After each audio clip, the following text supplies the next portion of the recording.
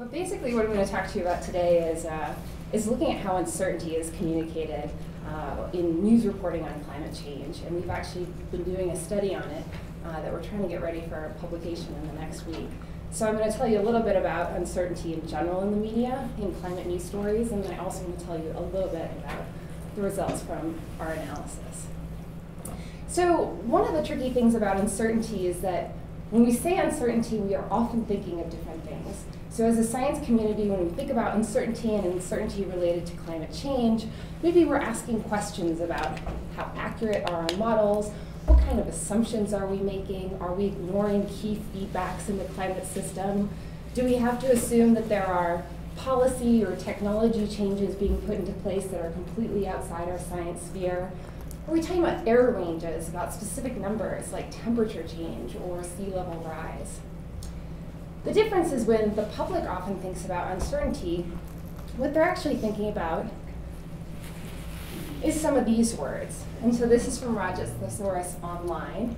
And a couple of the key ones that I wanted to pull out include words like concern, anxiety is a big one, distrust, sort of this overtone of fear. Um, and then when you think about words that, when people think of certainty, so an antonym, what they're thinking about is things like security. So certainty is a great thing, and uncertainty is something you worry a lot about. So even though we're using the same types of words, we can often be speaking very different languages. And one of the challenges that we face as scientists is that we're not often the ones communicating directly with the public. Most of the time, the media is acting as a middleman for us. And so we have to think about the way then that the media is going to translate our scientific uncertainty into the public sphere. There was a really interesting study done in 1995 here on the campus here at the University of Colorado, uh, done by Wilson, um, which looked at where people get their news information. And she had actually looked at, um, these were CU geography students, um, undergrads, and I think one of the kind of 101 type geography classes here. And I realize this is a little hard to read because I copied it right out of the study. But what she's showing is what students are reporting as their primary sources of information on science. And so while you might think, well, they've been in school, they're geography majors, maybe they're learning about science in class, previous geography classes and previous science classes account for only about 40% of their primary material on science information. Whereas if you look at local television, national television, public TV, uh, newspapers and magazines and national news, that's accounting for much closer to half of where they're getting their information, or half the students are saying this is our primary source of science information. So not only is the media acting as a middleman, but they're really the major source of information on a lot of issues like climate change for the general public. And so thinking about the language we're using is really important, particularly with terms like uncertainty that are interpreted so differently between the public and science sphere. Now, one of the other challenges we have to think about when we're talking to the media about science and climate change is that there are certain journalistic practices that influence how stories are picked and how stories are told. And one of the big ones is the hook in media. So journalists are always looking for a reason why to cover the story right now. What makes it a green story? And so a couple of the hooks, and this is actually from a website called the Op-Ed Project, which is to try to help citizens actually get their opinions into the news, they list a couple big hooks that are often used. And I pulled out four of them. One of them being that making things dramatic is often very newsworthy. Um, turning something that's conventional, sort of like, here's what we expect, oh, but it's not really the case. So turning it on its head is another good one pointing out contradictions. Scientists thought this, but oh, in fact, they're wrong. Um, or citing major news studies. And so to show a couple examples from the news that Maureen and I have been looking at from the, the past month or so, here is an example from the Wall Street Journal. This is in February of 2007, which is about the time that the AR4, the Fourth Assessment Report of the um, International Intergovernmental Panel on Climate Change, the IPCC, was released. And so they, this is the first sentence. It's called the lead of their story. The title is UN report, so that's the IPCC, adds pressure to global warming fight. And then their lead is that a report being published today that more authoritatively and explicitly links human activity to global warming is expected to increase pressure on governments and companies to reduce fossil fuel emissions. Now, the very same day, the New York Times ran the story this way. So they said, even before its release, because this is technically the day before, World Climate Report is criticized as too optimistic. It's too good to be true. So in its 2001 assessment, its third, the IPCC estimated that in the next 100 years, sea level would rise globally by as much as three feet. But in Paris today, the panel will moderate its gloom on sea levels, lowering its worst case estimate. So in this case, what they're doing is they're setting up sort of that contradiction for us by saying that, well, in fact, they thought it was going to be as much as three feet, but they were really wrong. It's going to be a few inches. This is nothing to really worry about. So they've set this up under this framework of a contradiction. And this idea of talking about frames is really common when you're looking at news analysis. And it's the idea that we're taking certain pieces of the story and really emphasizing them as the most important. Here's just another example, this one now from the Wall Street Journal, which is also showing a contradiction frame. Latest report shows climate pessimists were climate realists. In other words, those deniers were more realistic than we've been pointing them out to be. And in fact, maybe those of us saying sea level is going to be three feet have been blowing it way out of proportion. Another really common frame that you see in the media uh, and climate change is a controversial frame. And several studies have pointed this out. And I, I put up this picture, it's actually about uh, water on the Mississippi. But what I'm trying to show you is that it's, it's really common in media to pit talking heads against one, each, one another. And you see this a lot if you're watching the news on MSNBC or CNN or Fox News or, or really any of those um, cable channels. What you'll find is that it'll be a he said, she said kind of story. And so that's where a lot of the drama is created by having these talking heads pitted against one another. In, in the case of controversy, it's also tricky because there, there tends to be this journalistic practice or this norm of objectivity, the fair and balanced sort of approach to news. And when journalists just don't have time to find out or investigate a particular story or a particular piece of the news, well, it's just a lot easier to put two people who say different things against each other. And at least there, there we're covering our bases and getting all aspects of the story covered, even if they may not be entirely right, or one may be more right than the other. Um, and so that's something that Max Boykoff, who's a fellow here at CREATE and a professor at the university, um, he studied a lot of the way that this um, norm of objectivity actually makes climate science reporting less accurate. So the problem with some of these frames is that what they do is they actually create a more confusing story for the public. Well, he said, she said, well, they've contradicted each other. What am I to believe? Is it three feet? Is it a couple inches? How am I supposed to get the real information out of this news? And so one of the ways that journalists can actually help the public understand stories better is by giving them more context about contradictions that may appear or controversy, controversy that may develop. And so there was another study done uh, by Corbett and Durfee, and I think Durfee is now actually at CSU, but this study was done, I think, when she was at Utah. Um, and so this was done in 2004. What they'd done here, very similar to the Wilson study, is they interviewed groups of students at the university. And what they did was very clever. They gave them a news article, which started with this lead. So a study published today in Science has found that parts of Antarctica, the frozen continent, are getting thicker rather than thinner. So maybe we were wrong about climate change. Most of the stories did not contain any real additional scientific info. That was the control group. Then they gave a group of students the same study, but they added a whole paragraph that explained why Antarctica is getting colder and thickening rather than um, showing the same kind of melting and warming that we're seeing in other parts of the world. And when the students ranked these as more or less uncertain, the students that read the paper with context thought that it was a lot more, that there was a lot more certainty, a lot more scientific agreement about what was going on, while those who were given no additional context felt like it was pretty uncertain and that scientists had no clue what global warming was all about. So context can really help solve the problem of uncertainty. The problem is journalists usually leave it out. And so without having enough context, they can accidentally make the story more uncertain than it really is.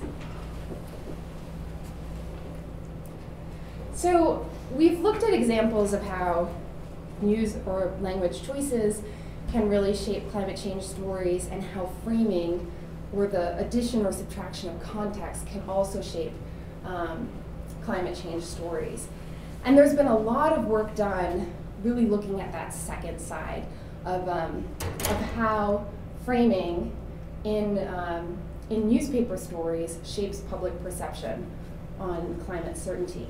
But there's been a lot less work done on how newspapers, what kind of language choices they're actually using to talk about things that are uncertain related to climate change. And so that's the angle we decided to take in our study, is to look very specifically at the grammatical and word choices that news articles are using, the tone those grammatical and word choices convey, and then also the subject matter that they're talking about to find out how uncertainty is being translated from scientific to public spheres. And so what do I mean exactly by that? Well, I thought I'd bring up this example. This was from, this is um, out of the New York Times, and some of you might remember that the New York Times broke a story that a staffer in the White House during the Bush administration had taken a climate change report from US scientists and basically went in and edited with all these little word additions. So put in a conditional modal verb here, might, instead of something will happen. Um, up here they added could. Let's see, down here they also said, well, you know, instead of saying that we're going to facilitate this scientific information, let's say that we're going to reduce a lot of significant remaining uh, uncertainties. And so by adding these little changes in language, they took this report that many scientists felt was actually quite certain about the science that they were trying to convey and made it a lot less certain to the administrative officials that ended up reading it. And so that was really big when it hit the news. I think it took several years to come out, which um, some of you may remember better than I, but I feel like the report was in 2002, 2003. I think the story didn't actually hit till 05, it could have been 06.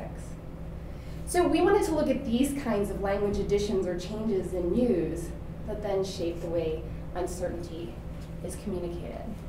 And not just about climate change science itself, so not just about how much temperature is going to change or how much sea level is going to rise, but also about the notion of the IPCC as a committee, its process, its consensus, the agreement among scientists, the um, basically whether the IPCC is being showcased as a scientific body or as a more political body that's trying to manufacture some type of global warming hoax.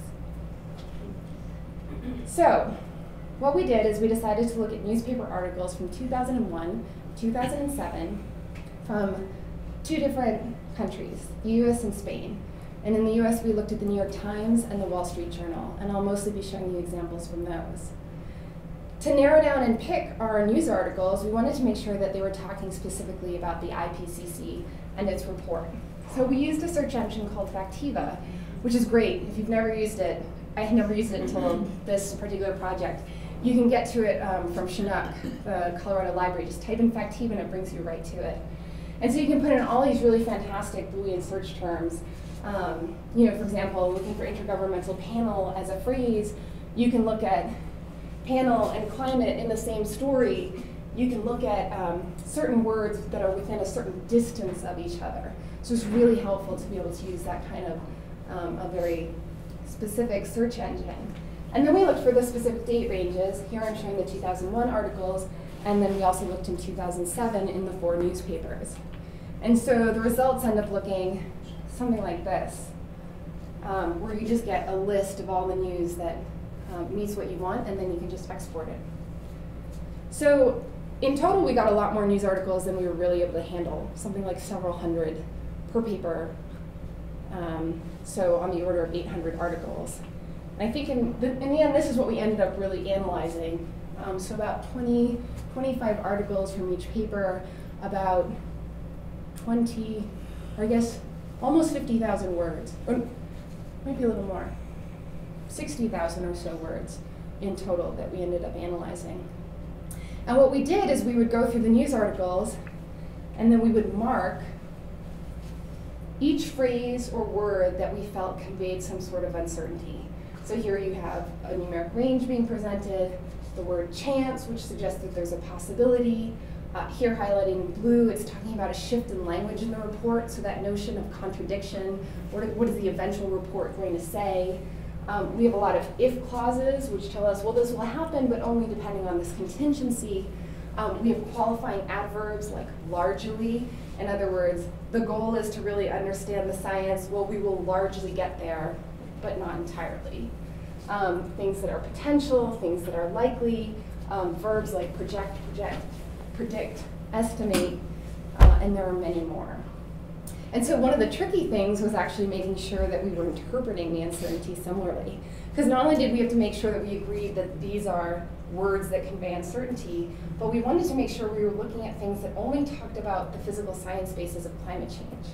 And in a lot of these stories, even though they may focus on working group one of the IPCC, they often mention impacts or possible technological solutions that end up appearing in working groups two and working groups three. So we actually had to make sure we were agreeing also that the subject matter was relevant. So our first run, we had very low agreement. There's sort of a pooled variable test you can do called the Krippendorff's alpha for intercoder reliability.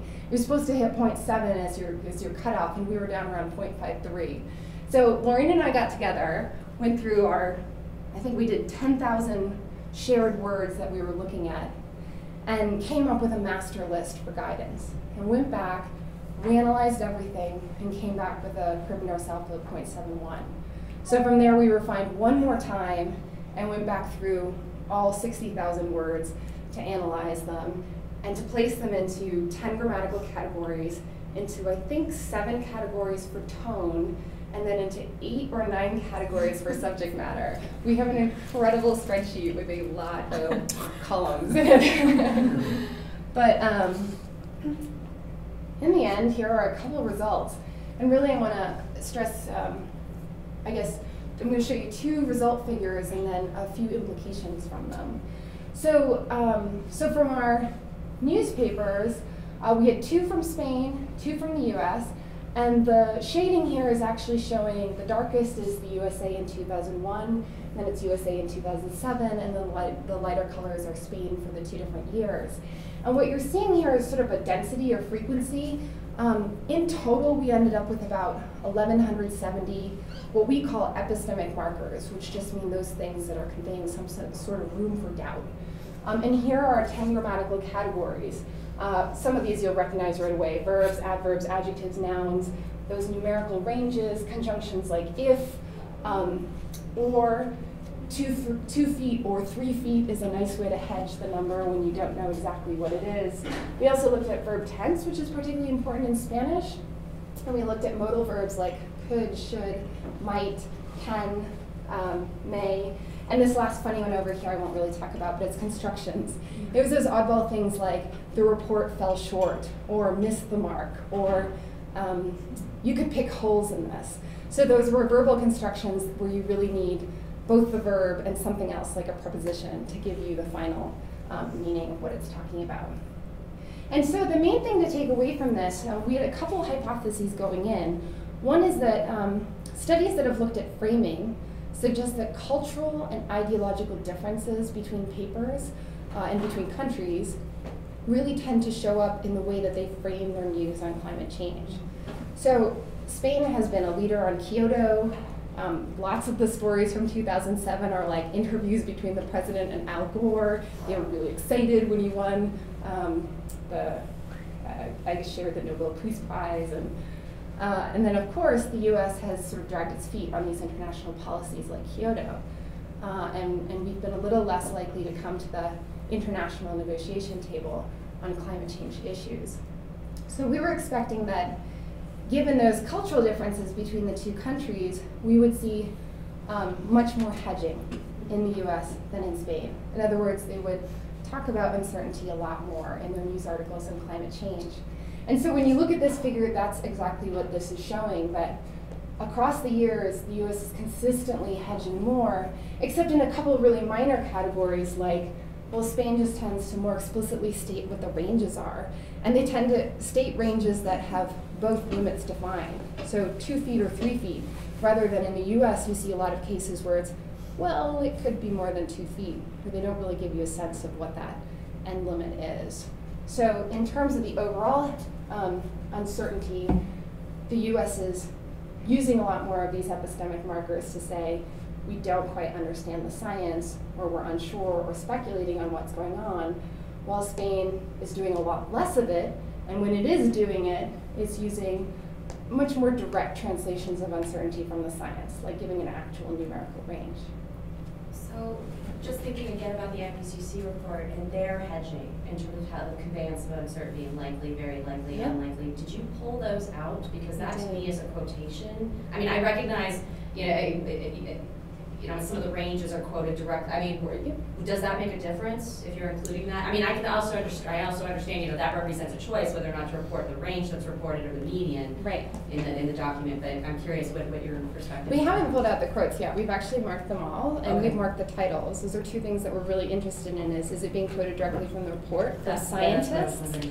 um, or you know, in terms of the titles, it's actually actually an editorial choice as opposed to a journalist choice. Okay. So those, but um, but in terms of just the overall results, we've actually counted everything. So in other words, when we get our news articles, um, whether it was a pull-out quote that sort of showed up in a little box, um, whether it was repeated at the footer underneath a figure caption, whoever said it, we ended up marking it because we figured at some point the public is seeing it, and they're not necessarily making the distinction about who's you know actually the messenger here. Yeah. Um, we also included opinion pieces. Most news analyses will not include opinion pieces, but they turned out to be, um, at least for some of the papers, as much as 34% of the news on climate change is coming out of the opinion pages. And my understanding is that the opinion pages are some of the most read of any news art, of any newspaper. And so while we made sure that these kinds of differences were not sensitive to the opinion pieces, what's very interesting is they're not. There's way more hedging in the news than there is in the opinion pieces. When the opinion pieces don't like climate change, they just say, wrong, end of story, move on. They don't sit there and go, could, maybe, possibly, perhaps. so the news tends to do a lot more hedging.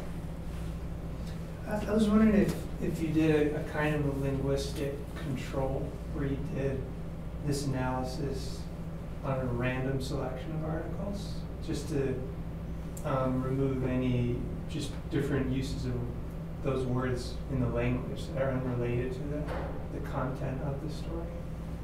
You see what I mean? Do you mean just just um, like markers that are just uh, not related to the working group one science? Yeah, I'm just saying like the way, like linguistic differences between Spanish and English where they might choose to use certain words more, but it's unrelated to the content, it's just simply a linguistic evolutionary difference. No, Might not be no, Just we didn't. How is, how is the news written in general regardless of the topic? Right, right. That's the- Yeah, That's, that's, yeah. That was a, I think it was always something in the back of my head, but, but probably a whole nother study in some regards. You know, we, we didn't, and sort of, our control was basically to pick January one and run with it. Um, both news reports came out around February, uh, in both two thousand one and two thousand seven, the third and fourth assessment reports.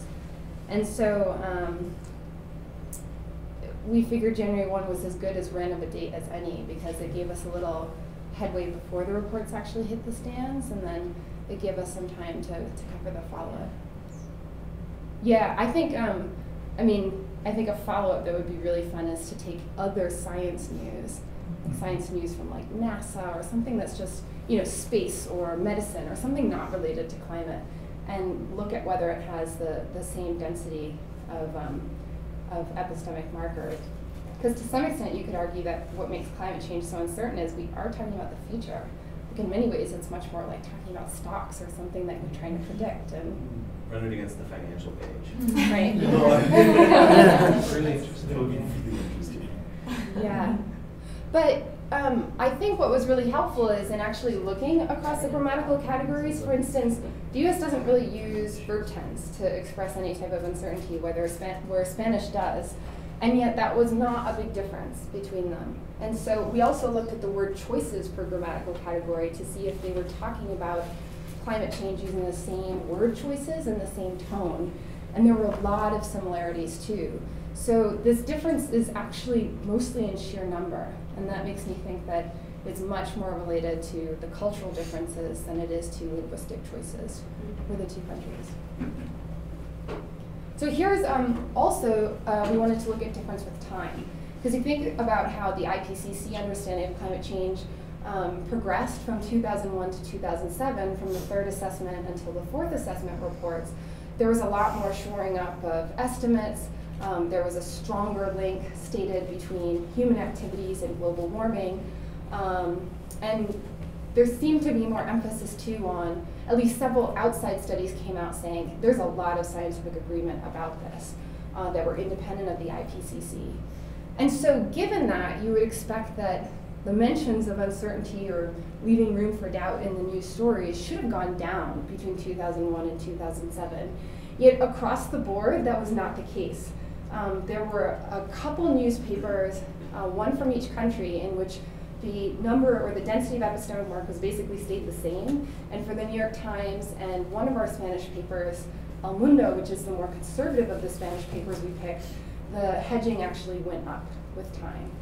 And so that, that was particularly surprising for the New York Times, which has some really spot on reporters talking about climate change, people who get it, who definitely think it's an issue, and, uh, and yet are doing a lot of hedging uh, when it comes to talking about climate news.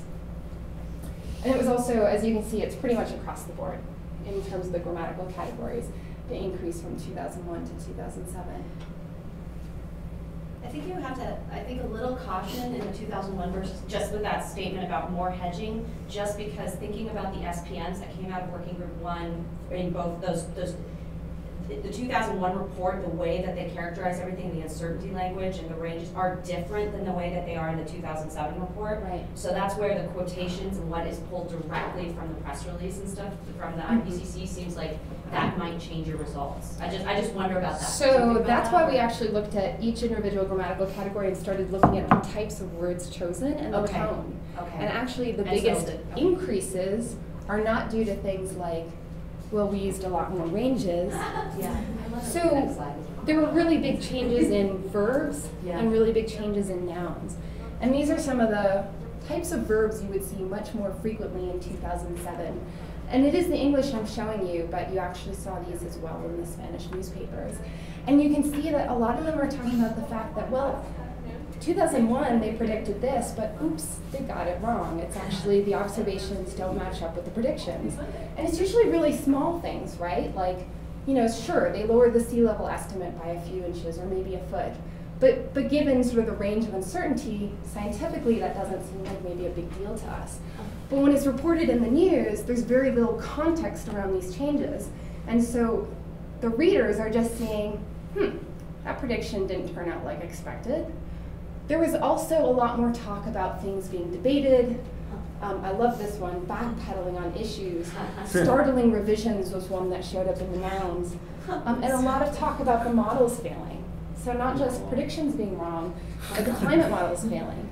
And so it's not that we're simply saying there's more likelihood of this, um, that they're quoting more ranges more often.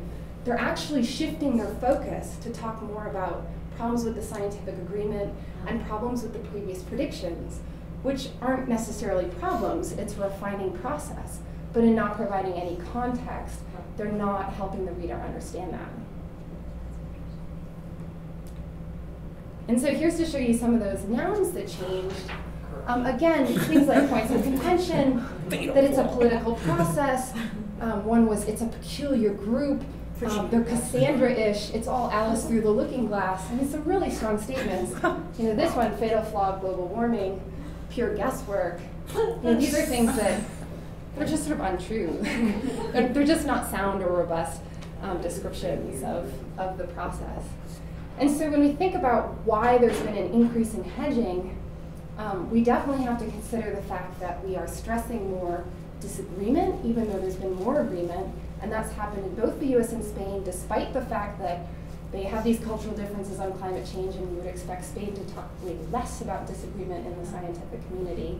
Um, and that they're talking about the fact that they're comparing changes in predictions between years without really giving context.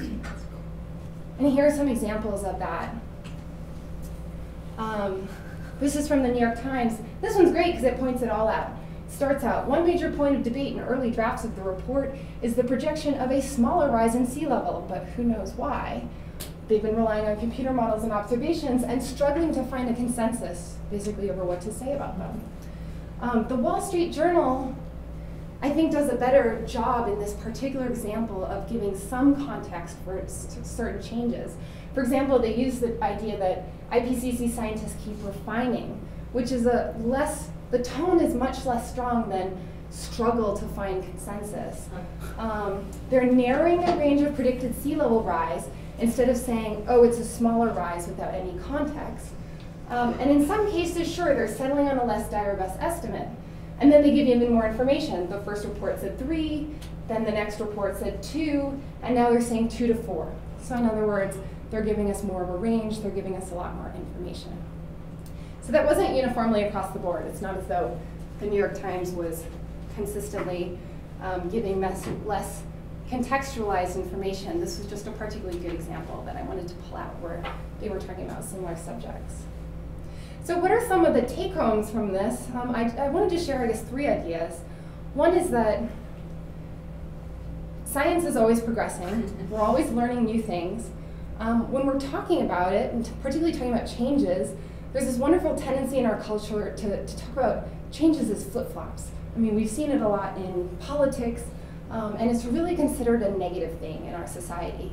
And so I think providing context and making sure that if you're in a case where you're talking to the public or journalists, making sure that you clearly explain why there's a difference in the numbers that they might have seen earlier and the numbers they're seeing now can help a lot. And, and that goes back to that uh, and Durfee story or a study that I, that I showed you where they found that um, college students, when they were given context, felt that the scientists were much more sure.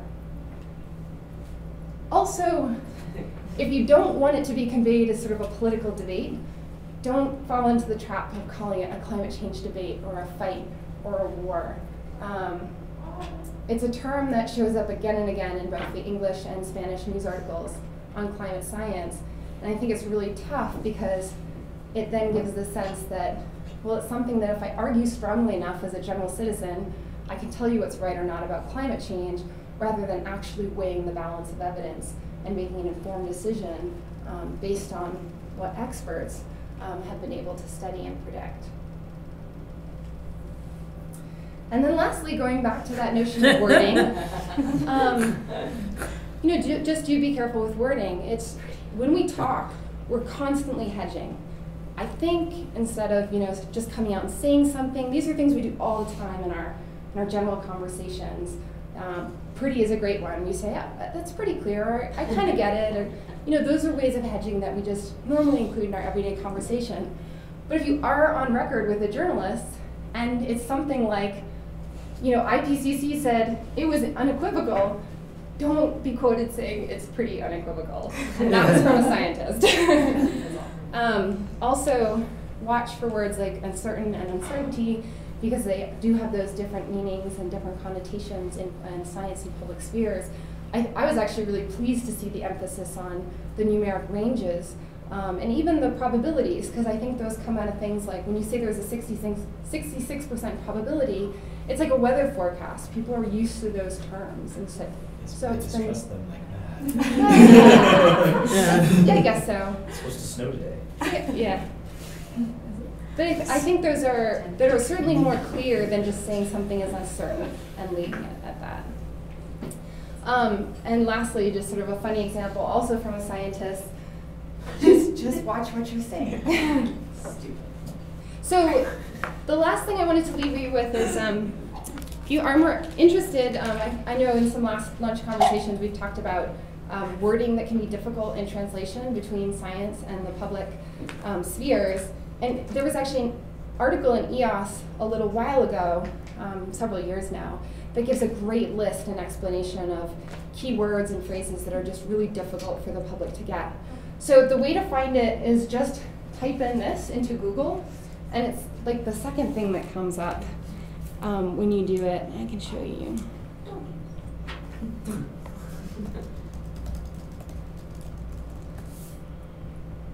So it's this from Climate Communication. Oh, you can see it. I'm sorry. There you go. I can, uh, oops. So if you go back to the search engine, if you type in EOS Science Earth Communication, it's the second PDF that shows up. And so improving how we communicate about climate science, I said that was really useful. Um, and EOS is an AGU journal for those who may not be uh, members of the American Geophysical Union. But they occasionally have some nice articles on communication and education. So thanks guys, that's, that's kind of what I wanted to share. And if, if you have questions or you just